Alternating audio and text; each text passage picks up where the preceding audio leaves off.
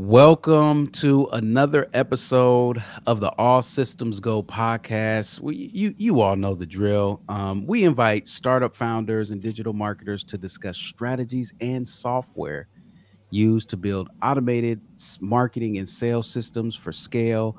I'm your host Chris L. Davis, founder of Automation Bridge, and I have the privilege to have Daniel Cooper with us today, and he is the founder of Lolly.co, and it, he's on a mission to transform repetitive business processes into slick systems by watch this combining process consulting and superior software development. If you're like, whoa, that's a lot, that's big.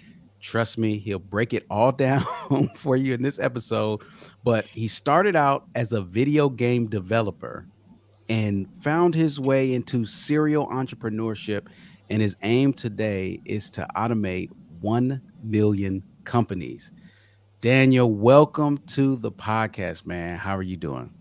I am great. Thanks so much for having me, Chris. The privilege is all mine.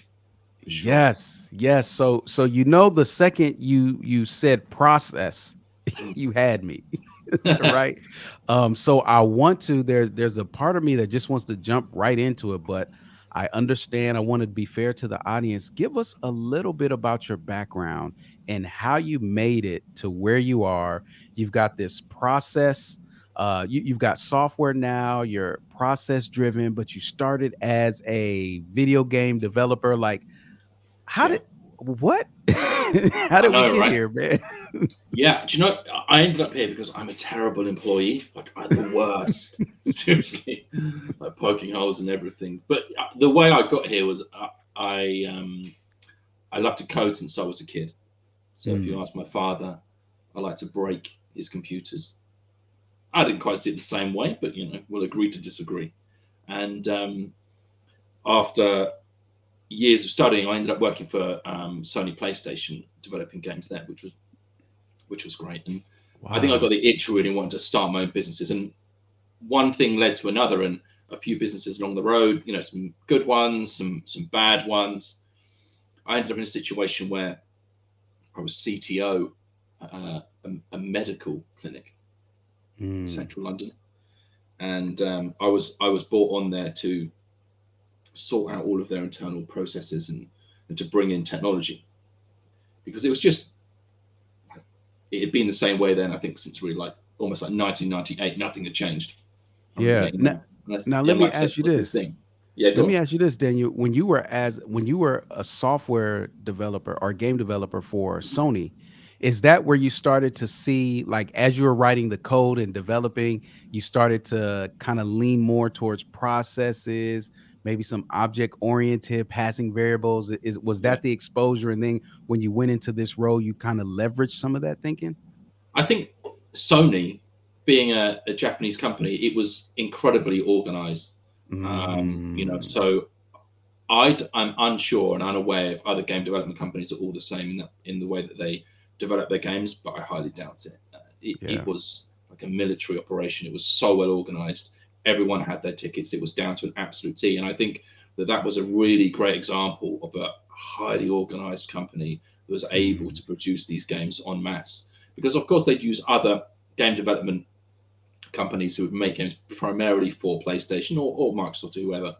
Um, but of course, they'd make their own games in house, and that's where and that's where I was. Uh, but that's really where I started to see the process. But for me, I think the biggest part of processes was in my own businesses where things just became painful. Mm. Right, where you mm. just get sick of doing some stuff. Like, Man, I'm sick of doing this one thing over and over again, and I, that's where really the the process orientated side of it started to come through.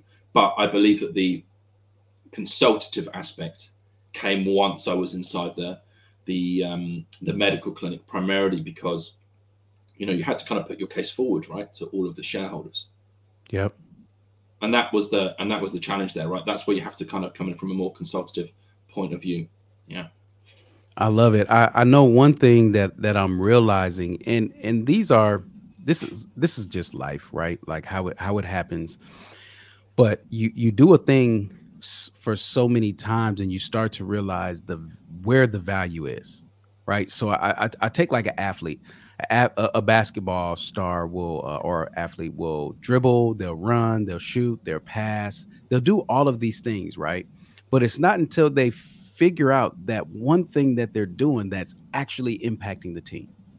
So it's like, you know, I can do all of the things an athlete does, but when I play defense, we win right? Mm-hmm. When I shoot the three, we end up winning. I need to do that more. And I feel I can just see so many parallels in every profession. So it's like here, you do all of these things. Hey, I can build a business, build a website, I can do some automation, this, this, and that. But then you start to see when I put structure where there is none, businesses grow. right? Yeah, right. Yeah like when I introduce structure, when they bring me in and say, Hey, this is what we're trying to do. Can you make sense of it? And maybe they don't say it in those words, but essentially everything around you is like, whew, this is this is going to take quite a bit. And you start to add the structure, and you're like, that's really what's moving the needle. Yeah, right. Like no one's there is no team in the NBA that, that does not have a coach. Just yes, you, you can't be at that level and not have the coach, right? It's equivalent, basically, of not having a plan. How many businesses yeah. do we all know? And we're all guilty of this in some aspect to some level in different areas of the business where there isn't yeah. a plan, where you just haven't had the time. It is the equivalent, though, of every single player. No one's playing defense. Everyone's just trying to shoot constantly, right? And it, absolutely, it's, it's not going to work. Um, and and that's where being organized and having systems and strategies is is really really important. And there's an odd glass ceiling in all businesses, whether I hit that. It will normally around two million dollars in revenue, and they just can't work out why they can't break through. The next one is at like five, and then beyond that, like fifteen. But yep. it's really common at that point because the, yeah. the and the thing is, the game changes. Right, the high school team compared to the NBA team, that's a different game. Yeah, it requires a different level of stamina, different level of organization, different level of performance. Um, I'm so glad you brought that up because it is something that I've realized, and it's relative to the company, but there just are certain plateaus that you just are gonna hit and, and experience, and you're gonna have to do something different. I, I think the best quote I heard is "What got you here won't take you there." Yeah. So it's like, look, you, yeah, that yeah. disorganized, chaotic way of running your business may have gotten you here, but it's not going to take you to the next level. And sometimes people tap out and they say, I'm, I'm fine with a, a million or two. I'll just keep running it this way. Um, so I guess it's their prerogative to run their business how they want to, but give us give us a little insight on where did Lolly what first off, tell us about your company Lolly.co um, and what drove you to create the software? So the company was formed almost purely at, out of accident, really. Um, mm.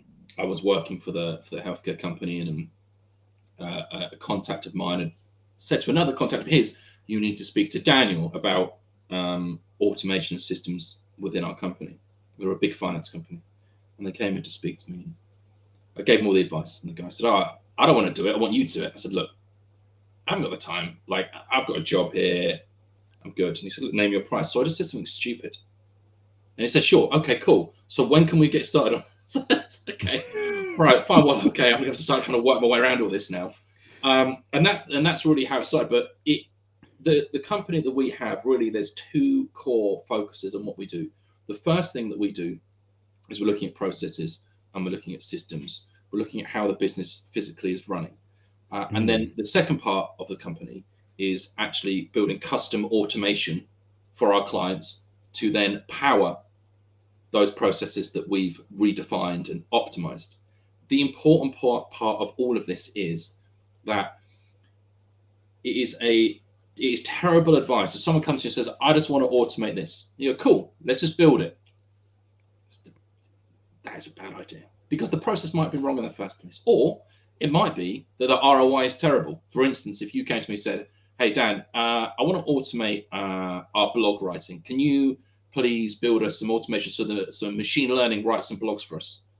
Sure, but I'm 100% certain that that's going to cost way more than just hiring a professional writer, right? And that's the thing. Yeah. If the ROI is terrible, why are you doing it? And for us, it's about working with our clients to try and establish that the processes they are trying to automate are actually meant for machines and not and humans are doing things that humans are meant to do, right? Mm. You don't ring your bank, or you might do, but I've never heard of anyone ringing their bank saying, "Hey, just put me through to a robot." But right. I'd love to have someone I can speak to in my bank. Boy, that'd make a big difference, right? And I don't care if they automate the rest. Yeah, they should.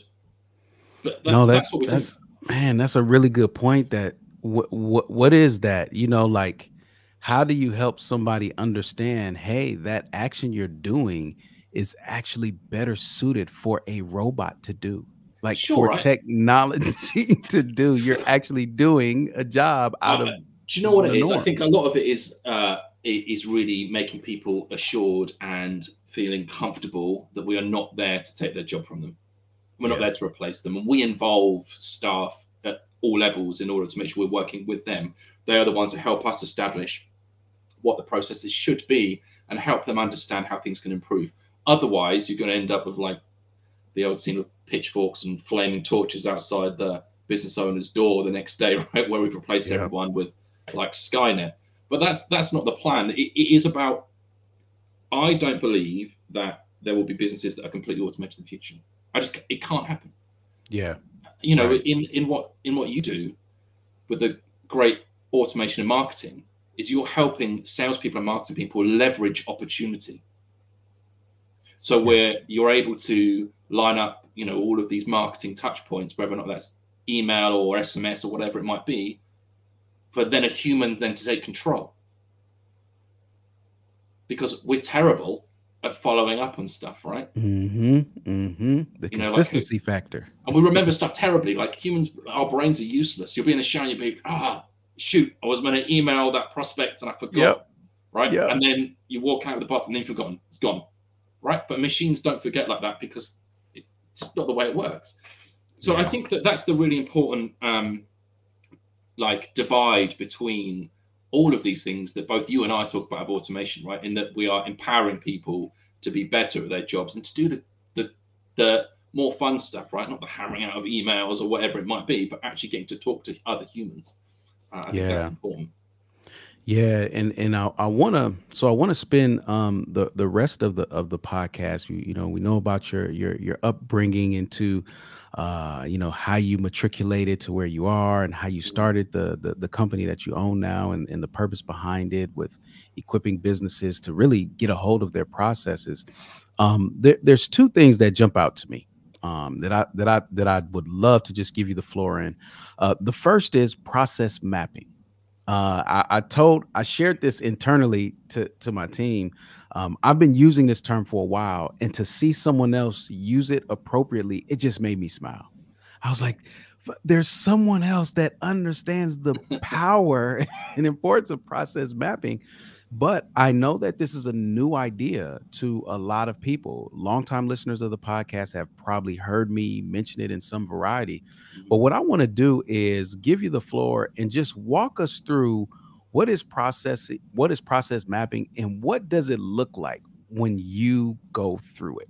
Like what sure. what are the steps, you know? Yeah, yeah. So I think you have to uh look at the business from like let's look at the business from different um, heights. So if we look at it from a 10,000 foot view, we see it as X person does X thing and it results in X goal, right? That's the 10,000 foot view.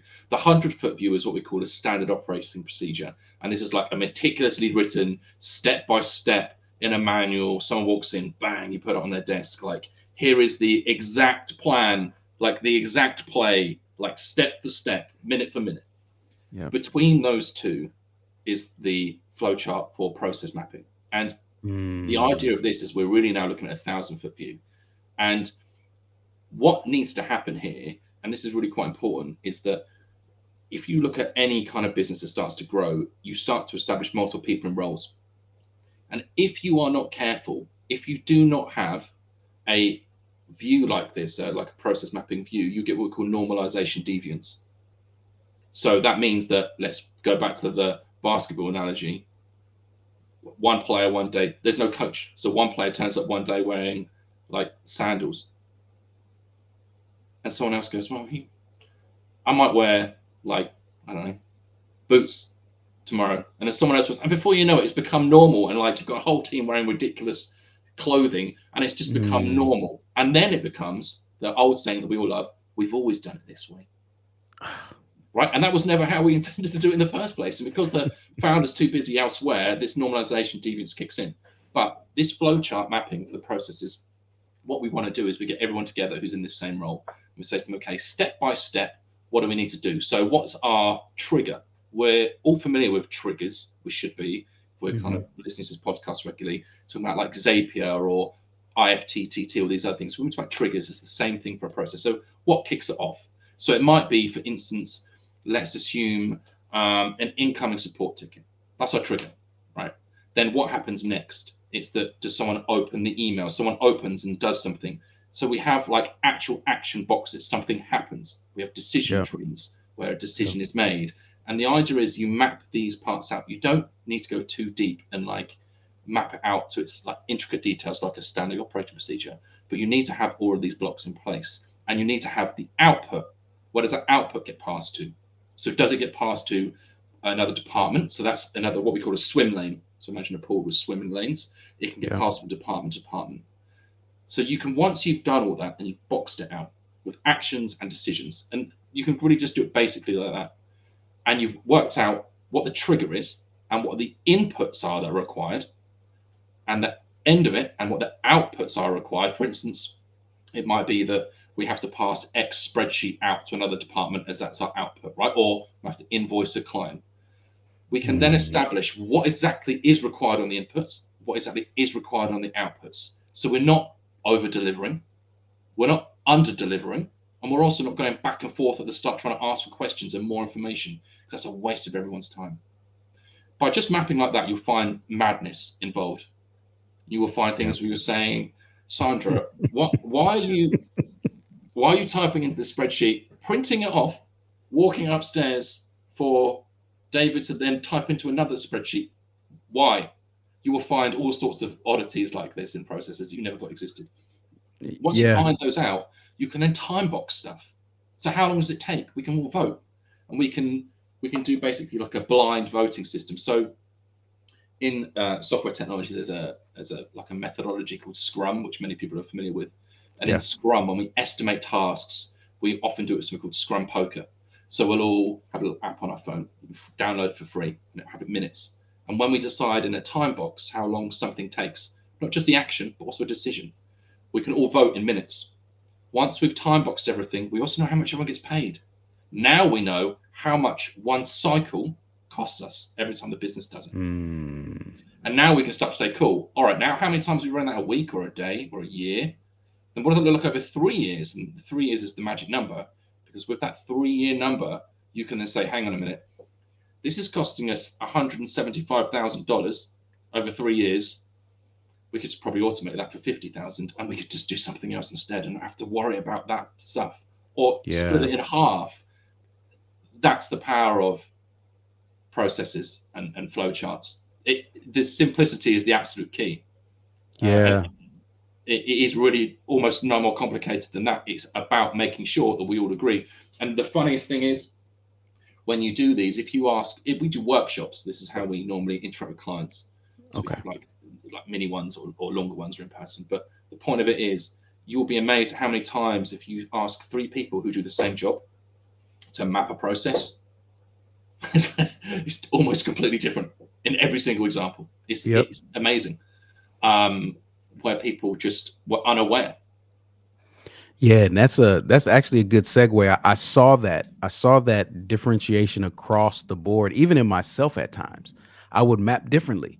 And one of the things that one of the first things I did in my my automation service provider program is create a framework. Now it holds me to the same steps. And then it even got to the point now, Daniel, where I've got certain shapes that always signify a certain thing, you know, mm-hmm. and and there's a method of what's vertical, what's horizontal. I just remember being so overwhelmed. And, and I'm an engineer, man. I'm an engineer. So this yeah. is overwhelmed after engineering of like, how do I get started with a flowchart? I, yeah. I want this beautiful output. I like the boxes and the arrows. And then I would do it. And sometimes I'd just be like, it looks so plain or bland. So there was a part of me that also knew it needed to be visually appealing in my opinion because when i refer back to this i don't want to have to think extremely hard so i started learning tactics different shapes different colors mean different things so i can look without seeing text mm-hmm. dan like without seeing any text yeah. i can look at one of my flow charts and based on the shapes and the colors i can get an idea of what's going on yeah you know mm-hmm. yeah and that's how that's how it should be and i think a lot of people listen to stuff listen there there's going to be a lot of people listening to this being like i haven't got time to do all this man but that's the thing you shouldn't be doing it right? That's what you pay. that's, that's what you pay people for, right? So yes. one of the things that we have, we have a, we have a rule internally called documentation first. Mm. Everyone hates me for it. Mm-hmm. the, mm-hmm. the we use um, we use Notion for our internal documentation. Okay. There, there are loads of other things out there that you can use right for it. Yeah, yeah. Notion's um, a good internal wiki tool, though. Yeah, it is right, yeah. and it sits on everyone's desktops. It's easily accessible. But the rule yep. we have is documentation first. So that means when you go to do a task, check the documentation. And if it's not there, guess what? You're documenting it and you're doing the flow chart and you're reporting it. Or if it's wrong, you're the one editing it. Um, yes. and, and, if, and if you're caught not doing it, then you know someone's going to be on your tail about that. But it's a great way to kind of force everyone along the kind of same line, and it doesn't put all of the pressure on the founder, especially when you're kind of like yeah. sub or around two million dollars to have to do all of the operational stuff. Right? It's not all yeah. on you. Yeah. Um, you know, there's a shared responsibility for that. And it's really important that everyone does it. Yeah, I, I just feel like um it, it, this is so important because even like you're mentioning, you know, you sit down with a business owner, get them to you start mapping out their process, and they're like, "What? Why are we? Huh? That doesn't make sense." Because they get so used to doing the process, right? How the process makes them feel. Maybe it's happy, maybe it's overwhelmed. They get really intimate with the feeling and they're just totally blind to it. They've never seen it. They've never seen the process, so they don't even know what the possibilities are until you map it. Then you map it, and it's like, oh my God, why are we not doing this? How about this? I used to do it for fun, just like, hey, sit down. I, remember I gave a presentation, and at the end of it, I said, okay, I'm going to sit in front of, on my computer shine it on the on the uh, screen here or project it. I said shine, put project it on the screen here and put people in the hot seat. And I was mapping out their process on the spot, right? Yeah. The entire room is like, oh, wait a minute. Why, why mm. are they going there? Like everybody, Daniel, like if you yeah. don't have to be an expert, you just have to be willing to embrace, like, uh, uh, that's not right. Right? Like yeah, right. you just yeah, yeah. you have to be willing to fix it. yeah, and I think a big thing as well is like as like entrepreneurs and founders are so busy. Yeah, right? some of the busiest people ever, and um, a lot of it is we end up uh, presuming. We presume that once we passed it over to someone, well, that's why they're always going to do it. Yep. And even when you hit 200 people, you're like, well, no, it's cool because originally I told the first person this is the way we do it, and it will it will come away from you, and that's and that's where it's really important to have this because it adds that layer of transparency, which is really, really important. I'm a big believer in transparency in businesses. Um, yeah. And I think automation can really work well with that, which is great. Yeah. Yeah, tell me about this. Um, you do process consulting, and I, I, it was so refreshing. I can't I can't tell you how how refreshing it is just to go to your website and, and just read through how you're positioning yourself and the, the the type of service that you offer. But when you when you said process consulting, it made me feel like there's a certain type of company that understands, you know what, we've got to get our processes together. Are are you finding that companies are coming to you having that identified in some capacity that my processes something's not working we're successful we could be more successful or is it a sense of they come to you for one thing and it ends up turning out that they really need process uh, optimization. Yeah, so typically the types of businesses that we encounter, they come to us like, oh, we've got this problem. We're growing too quickly. Everything's out of control. There's like fires everywhere. I don't know, like we just don't know what we're going to do. Like we need someone yeah. to help us sort this out. And that is normally the way that it starts. Um, mm. Occasionally, you get someone coming to you uh, and they've kind of got some blinkers on and they haven't seen. They're like, I just want to automate this one thing, and you're like, okay, well, let's let's explore that one thing, and, and then in uh, in a mini workshop and see what kind of way that takes us. But for the majority of them, yeah, it is because their growth has gone stratospheric. Um, mm. and and there and what I hear from almost every single one of these companies, especially from the ones who've had previous businesses that haven't been as successful, they all tell me that having too much business and growing too fast is more stressful than not being able to find any business, which seems like wow. a crazy thing to say. Yeah. Right.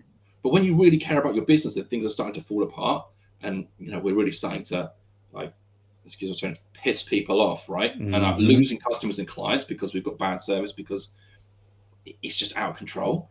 It's a horrible feeling, right? Yeah. Wow. It's it's like the psychology is I'd rather worry about getting a client than losing one.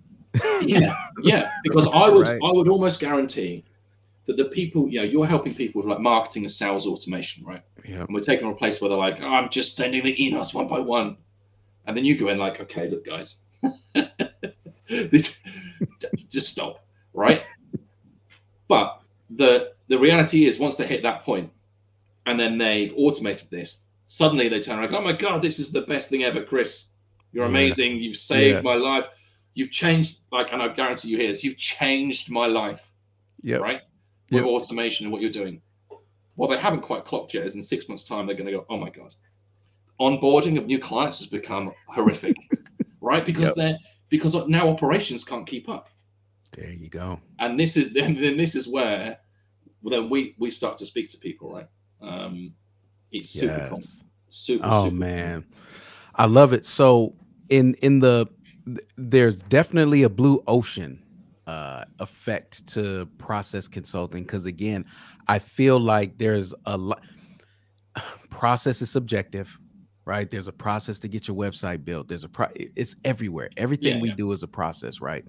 But specifically the automation um, in scaling a company or or ensuring that a company's scale does not cannibalize itself right? And that they can continue on that that trajectory process then becomes the required it, it, becomes the foundation. And mm-hmm. and i don't know about you daniel i, I want to give you the floor here but one of the things that i look for especially in a tech startup that's coming and saying hey chris we, we really want your help to help us scale xyz i'm actually happy when i see manual processes that are being exhausted. The people in them are being exhausted yet they're producing a profit Mm-hmm. Because to your earlier point, being able to pro- map out the process and then start to get a good idea of if we just did this one thing, this is what you would gain in either hours back, time mm-hmm. saved, you know, mm-hmm. um, it becomes a to me very valuable skill or resource to be able to go somewhere and have somebody consult specifically on your processes to help you scale.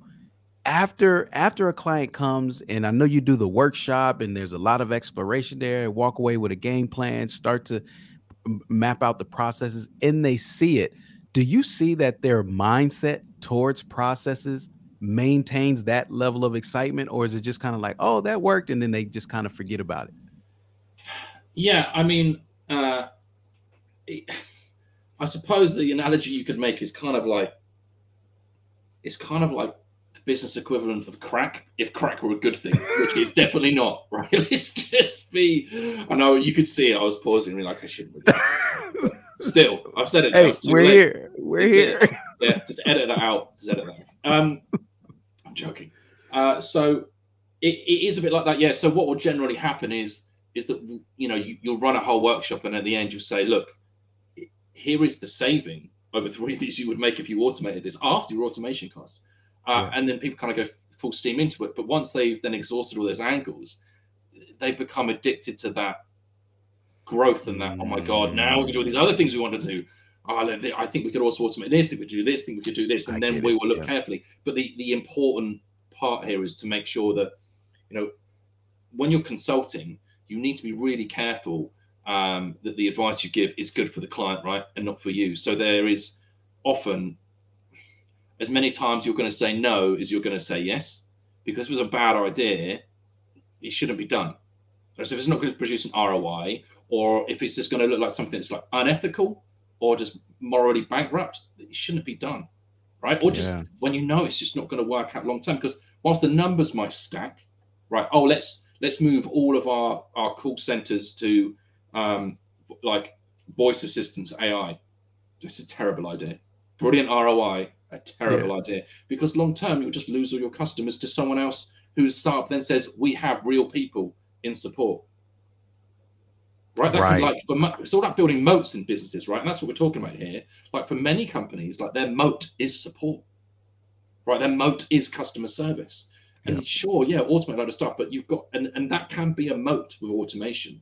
Uh, but you've got to be really careful, I think, with that type of stuff. Really careful. Yeah.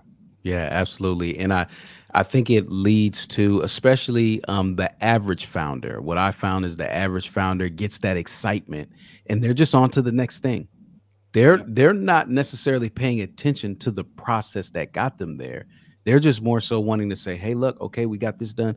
Next thing, hey, this thing, can we do it?" And then it's you who reins them in and say, "Hey, remember how we got here? Yeah, mapping processes, being intentional. We're gonna do that same thing. Yeah, to to go to the next or or or, or hit the next objective. So that does make sense. You know, it's short lived. The victory is short lived, but I, I I think you know when there's pain there, they don't forget. When it's like, man, I remember when it took me 30 minutes every client and five clients a day and now it's only two minutes you know like it's a reminder yeah. um, of the value of it and i find that it becomes like an internal salesperson yeah, yeah. I, I, agree. I say to my clients a lot you know they say to me oh yeah i think i think we're done with process. I think we're good. I think we've automated everything i'm like cool. I was like okay so go on holiday for two weeks turn your phone off. No laptop no phone. How do you feel about that? They're like wow don't think we could do that. I'm like, well, yeah. listen, man, you are not there yet, right? Don't don't start like resting and thinking it's all good because that's the reality. If if, if yeah, most business owners just said, cool, right, I'm off to wherever Australia for two weeks and I'm not going to have any phone, any laptop, no email, nothing. And you come back, there'd be like a a nuclear war in the business, and you've got to make sure that's not going to happen because you know earlier on you were mentioning some people are quite happy just like working away. Be like, no, no, I'm good at this level. I'm just going to keep doing like this. I'm good at like one or two million, and I'll just keep it, just keep on churning and battling away. You've got to take a holiday. You've got to have a break. Like that's why isn't that why everyone starts a business? Because you're like, I don't want to work for this guy anymore. I want to do. I want to decide when I work, and I want to yep. be in charge and be able to yep. go do what I want wherever I want. And you build this really horrible, imaginary, like invisible prison around yourself. Yeah, that's exactly what it is. Yeah, and, and the only way to escape that is systems. Yeah. Oh yeah, absolutely. You start start with the process. Start with the steps that got you here. Let's let's map it out. Let's get these processes clear and defined, mm-hmm. and then we'll, we'll, we can we can automate it. But let, let's the foundation of the automation is going to be the process. So bad process, bad automation it's it's just going to amplify what's there. So Daniel, I can't thank you enough, man, for for coming on to the podcast and and talking through process mapping and consulting. I, I my hope is that listeners are starting to have a higher appreciation. Um, and by listeners, I mean the marketers, the consultants that are actually going to be the ones helping these businesses. Don't just gloss over process mapping. Don't just gloss over the process. It's extremely important. And then on the flip side, for the founders who are looking for the solution, listen, everything lies in the process in in the manner in which you get things done right? There there is no sign up for automation and it just starts working. It's going to run on the foundation of your processes. So i'm i'm glad to have a, another voice on the podcast to echo those sentiments. If our listeners wanted to find out more about you or connect or your company um, where's the best place that they can go you can visit our website, which is lolly.co, or you can follow me, me on Twitter at I'm Daniel Cooper. Great, great. So we'll have those links in the show notes. Daniel, again, thank you so much for coming on to the podcast. This was great. I enjoyed it, and I hope our listeners take more than two to three things away that they implement immediately, but more so, have a stronger appreciation, value, and understanding for processes, man. 100%, man. Otherwise, it's just me and you versus the world and process right. right. So get on board, everybody. Digital marketers and, and, and founders alike, get, get on this process train. It's all in the process. You have resources. They can never say, Daniel, they can never say that. They've got resources and they and they've got a means. So take advantage. Daniel, man. Um, thank you again, man. And I'll see you online. Thanks, man. Take care. All right.